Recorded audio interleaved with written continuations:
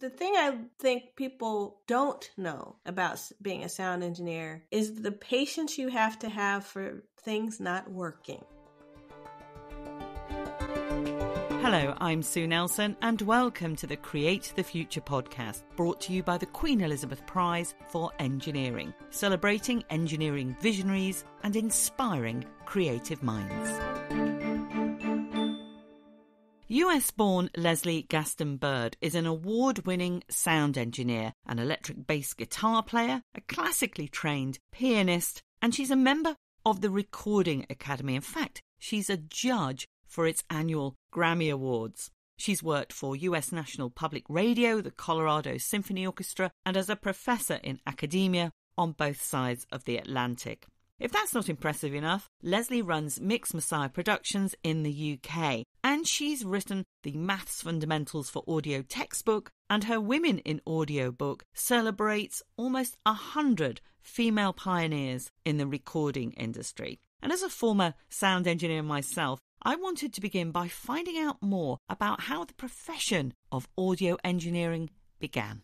There's a couple different audio engineering trades. I mean, there's sound for picture, there's sound music recording, there's acoustics. So there's different disciplines or subdisciplines of audio. Thomas Edison. I think people will acknowledge that he invented the phonograph. But even before that, there were people using telephone lines to transmit music. We were using the radio. You know, around 1918, I believe, is when we started to get wireless transmission of radio. And 1926, we started getting Vitaphone records. There were ways early on to try and sync these records with pictures. So between, I say, 1912 to uh, 1926 was really a golden age of being able to transmit, record, and reproduce sound. What for you is the greatest or the most useful skill to have? Is it a technical engineering knowledge, a good knowledge of maths. called it a trade there as well because it's a skill that you can learn? Or do you consider it more an academic discipline, particularly as you've come from the musical end of the spectrum with your music background and the audio engineering, the sort of academic background as well?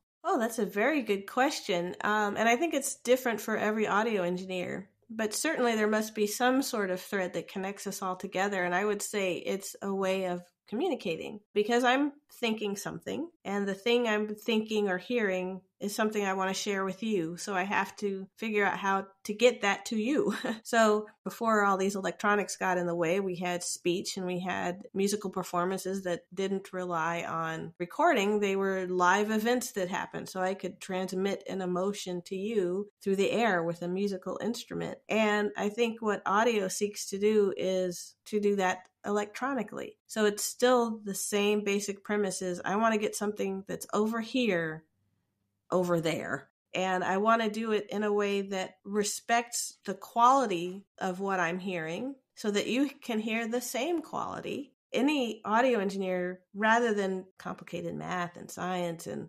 troubleshooting, I think you just need a desire to communicate in a way that your intended message is received in the way you want it to be received by the listener. But you the trick is, you know, nobody can ever guarantee that that's going to happen. But in audio, at least we can try. There's also a certain amount of creativity involved, though, isn't there, as well? I say this because I remember going to the Motown Museum in Detroit and seeing that how they got this lovely reverberation echo sound was to put the singer beneath the attic door and, and open it so that the recording of the voice the voice reverberated around in the attic before it came down. To that sort of quite simple but creative solution to something that's far more I used to call it, you know, the knobs and switches, which is knowing your treble, your bass, your reverb exactly how to recreate the sound so it does sound like you say you're communicating an experience. Yeah there's definitely a creative aspect and there's so much creativity i think it's easy to get overwhelmed by all the technology. So in popular political discussions you'll often hear somebody talk about an echo chamber. Well that's what you just described at motown was a chamber reverb and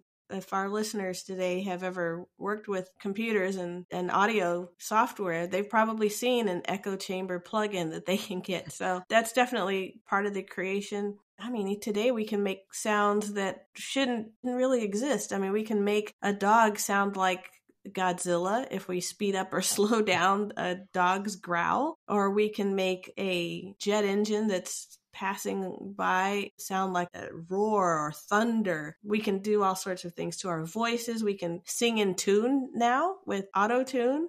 All of these things are manipulating sounds in cool ways. And that that's a creativity and the urge to do that. I don't think everybody has the urge to do that, but it sure is fun. You know, if you have access to the tools, it's a lot of fun. What do you prefer? Do you prefer recording live performances of, say, an orchestra, or being in a studio working with musicians to produce something that involves record production, you know, which might involve doing it again and again and again and again and multi tracking it? Yes. Uh, well, at the moment, I'm doing a lot of sound for film and television. And I'm really enjoying that because if you're doing sound for a film, sometimes there's sounds that uh, you can't record as part of the actor's performances, and so that needs to be redone. Uh, we call that process Foley. So, for example, if you imagine an actor on a set stirring a mug of coffee, you know, they put the sugar in, they stir the coffee. Those subtle sounds may or may not get picked up by the microphone. Some of these very subtle movements and subtle sounds have to be recreated, and they're rec- recreated after the fact and then once that's done, it has to sound like it happened at the time. So that's really an art is trying to, you know, as you're watching your favorite actor move around and create this story, you're not supposed to notice that those sounds didn't happen at the same time. You just assume they did. Mm-hmm. But a mm-hmm. really good audio engineer can make things that do, do not happen at the same time sound absolutely integral to the picture. So it's layers of sound there that are, like you say, in balance, I suppose, with everything, because we all know the, the comedy that can be made if the sound effects of something is too loud.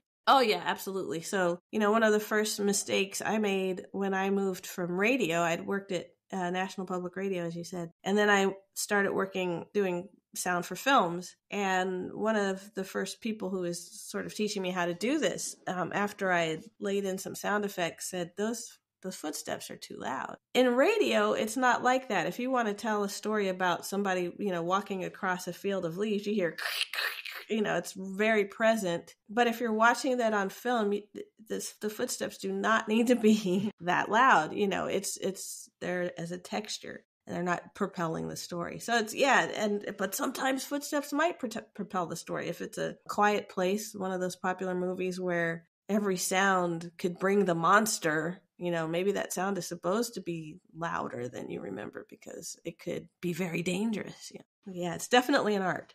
Yeah, I remember you just saying about the Foley sound. I did a few what they call spot effects in radio dramas.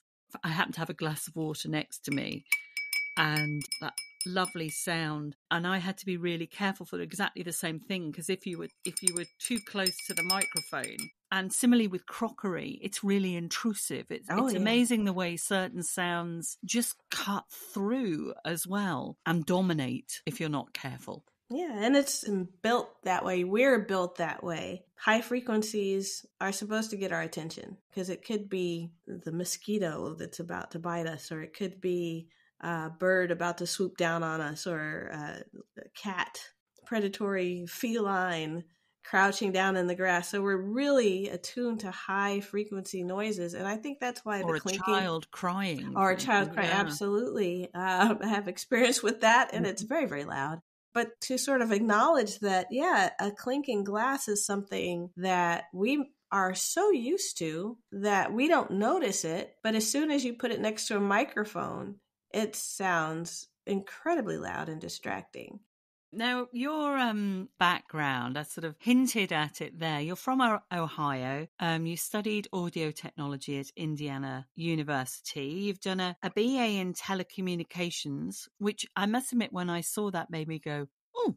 Yes, and it's because uh, I would have gotten a BA in audio, but it didn't exist at the time. It was 1987 and they didn't introduce the bachelor's degree in audio until I think 1992 or at some point later. But then you did go on to do a master's, didn't you, in recording arts? That's right. Yeah. And now you're doing a PhD in immersive sound. Yes. At the University of Surrey's Institute of Sound Research, which is incredible that you're continuing to learn and learn new things as your career progresses. How would you describe immersive sound? Immersive sound and spatial sound is really a buzzword now. We're starting to see it everywhere. And it's just briefly put, it's the sensation of hearing sound in a 360 degree sphere. So in nature, in life, if you're walking down the street, you might hear a crane, like a construction crane on a building above. You might hear the dog you're walking next to you, below you. You can tell that there's a pedestrian coming behind you, so you might want to get out of the way and move your dog out of the way. And then you're looking forward, of course, to see where you're going. So sound is happening all around us. And, you know, to take a more natural stance, if you're in nature, there's birds in the sky, there's water below, all of the things that we hear every day are all around us. And the fact that we listen on left and right loudspeakers is that's sort of baked in because of the technology. It's what we're able to do. But in film, it was the case with Fantasia from 1938, the Disney movie, that they did experiment with having speakers in the back of the cinema and then three speakers in front. That was one of the first immersive cinema experiences. Today, because we have technology and computers that can handle more than just two channels, manufacturers, audio technologists, di- digital signal processing experts are trying to deliver a immersive experience through headphones and some are trying to deliver immersive experience through sound bars for our televisions or through these Amazon think they call them Amazon Echo devices. It's back. You know, it took a while to get from Fantasia mm-hmm. to here, but uh, yeah, it's it's it's back. So, what does the course actually involve? Does it allow you to experiment with sound, or is it predominantly an, an academic look at it? So um, I'm doing a dissertation called Immersive and Inclusive because what I'd like to do is for there to be more access for women and underrepresented groups. Uh, I happen to be a Black woman. I identify as African American because I was born in America, and that is the politically correct term that we use you know, I'm also a black woman, African American. You know, that's who I am. And when I go to academic conferences, when I am taking courses and I'm learning about immersive audio, I'm very often one, the only woman in the room, or one of two women in the room, or the only black person in the room. In my dissertation, what I want to do is, is sort of discover why is that? Because I think there's a lot of cool things we can do with immersive sound through audio dramas. We can make these sort of amazing effects where people feel like something's coming from inside their head or something might be coming from behind and to the right or over headphones. But there's also immersive sound art, uh, immersive sound installations where we have speakers everywhere. And so, you know, we rely on speakers to create that illusion in a space and that we can share with other people for example, a cinema would fall into that category. In my dissertation, that's what I'm studying is like how can we improve access and participation by women and underrepresented groups in doing that, what I'd like to do is invite women and underrepresented groups uh, to come to experience immersive audio and to come and learn about immersive audio. And so, what we learn about are head related transfer functions. Why, if we only have two ears, how can we use those two ears to tell if something's coming from in front, behind, above, to the left, to the right, below? How does that work? And so we talk about this psychoacoustic effect as a head related transfer function. How the ear is shaped actually helps determine our experience of that. And that can be electronically reproduced if you put the right EQ and time filters I'm super simplifying this already.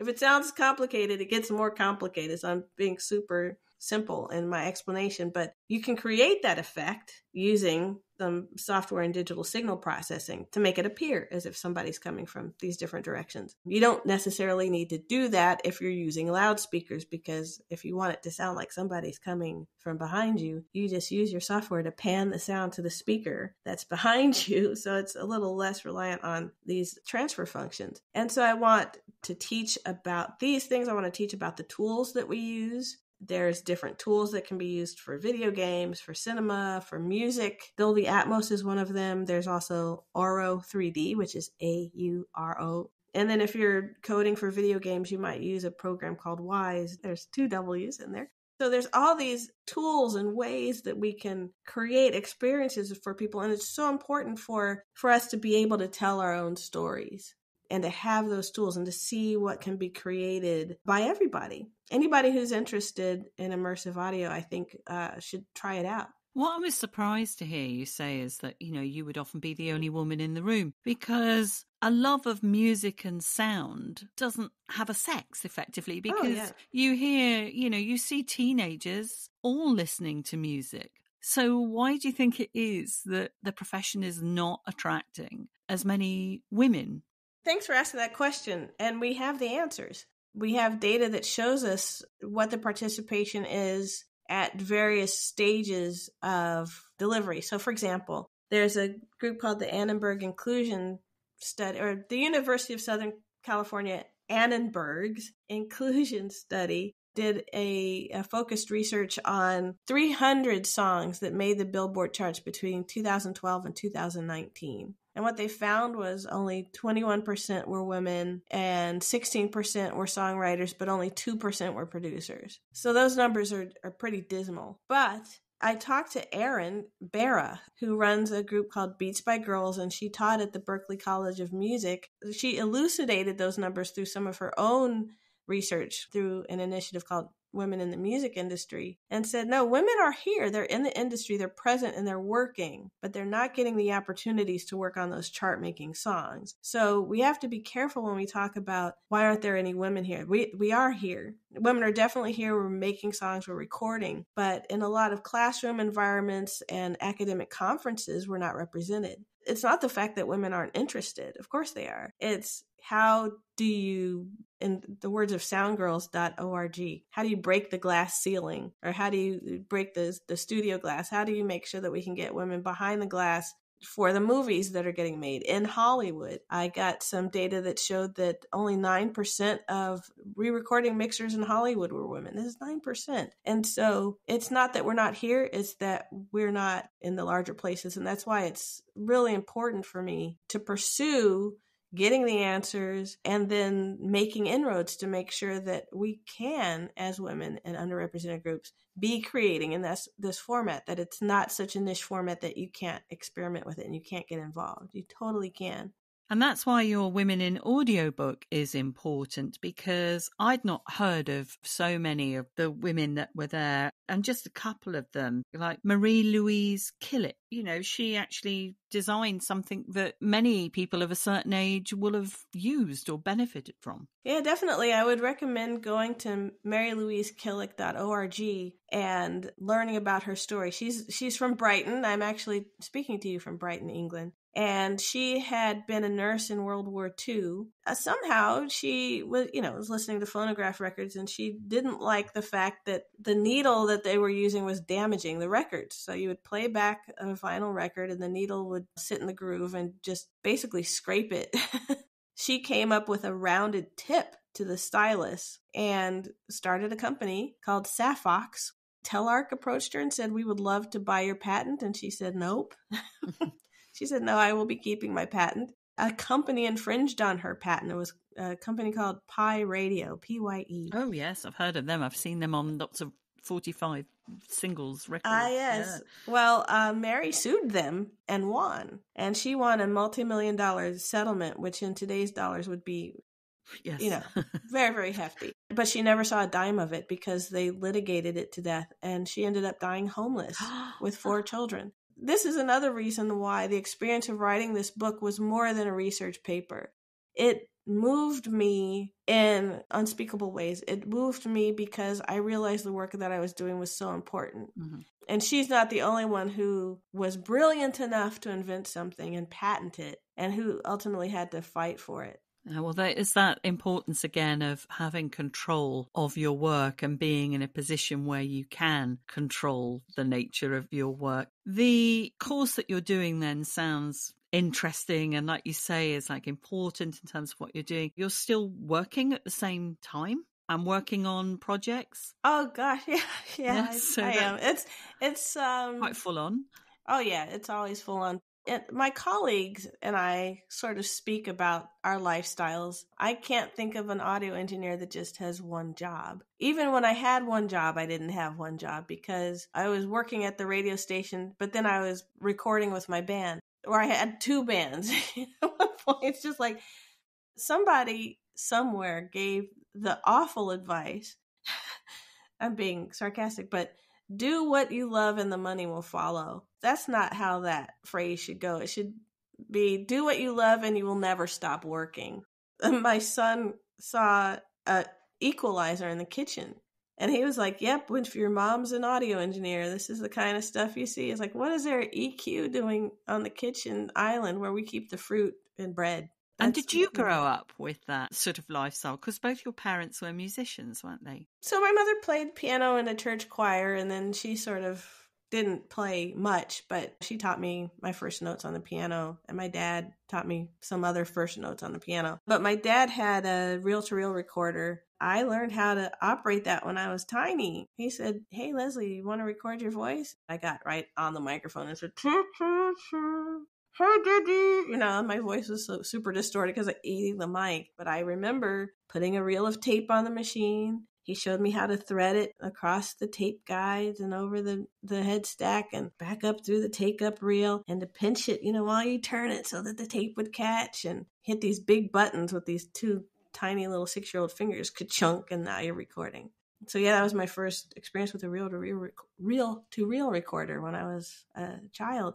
Now you've got to tell me about what it's like to be a judge on the Grammys. Yeah, it's really interesting and it's it's a lot of fun.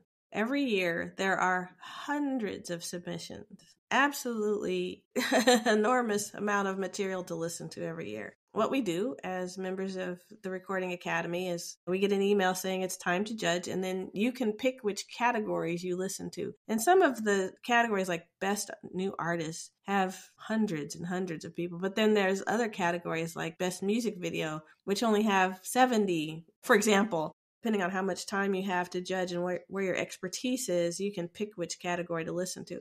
What categories in particular do you feel suit your background most? So it's the best engineered album, producer of the year. Those are the categories that I vote in because I'm an engineer and not an artist. And what for you is an example of a really great engineered album, either modern or one from the past? You know, I'm going to choose one for the from the past because I play it all the time and it's Donald Fagen's Morph the Cat from 2006. It's a surround album and it was mastered by Darcy Proper. It's just incredible. And I guess the reason why it's my favorite is because it's one of the first ones I played in surround and I was able to listen to each speaker separately and I could listen to just the left and right, or I could listen to just the two surround speakers and I could listen to just the center and then I could listen to them all together. And it was, it's just rock solid. So if you have a chance to listen to Morph the Cat by Donald Fagen. It's a great name. Yeah. and you know, if you were giving advice to somebody who was interested in becoming a, a sound engineer, what would you say? Or, or if it was something that they love, like for you, you know, being somebody who liked maths and also was a musician, that sounds like a good pairing, for instance. But what for you would be either a hint that someone might be interested or, or maybe they should just explore for themselves? The thing I think people don't know about being a sound engineer is the patience you have to have for things not working. If you do not have patience, like if you get a dialog box on your screen and you're like, it's broken, somebody fix it, then you might be in a little bit of trouble. But if you get a dialog box on your screen and you go to Google to find the answer and you're willing to open terminal to try and disable the extension that's keeping that thing from working, you're on the right track.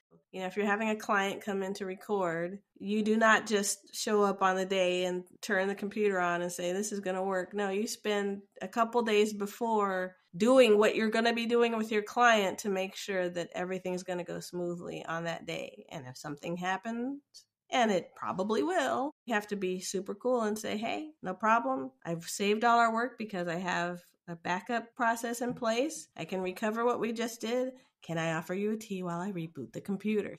that's what I do. There's other sound engineers who do not work with computers. Uh, for example, location sound engineers who are holding the boom on the actor. They don't have to deal with computers. Yeah. I know there somewhere in your audience is a production sound mixer going, hang on, Leslie. I've got Pro Tools and I've got redundant hard drives, and that's just not true. So it is this combination of logic. It's not feeling overwhelmed by computers. Mm. It's the engineering, the knowledge of sound, the knowledge of what you can do with the sound. It's having that ear as well. Yeah, I think so. Mm. So it sort of crosses arts, maths, science, engineering effectively.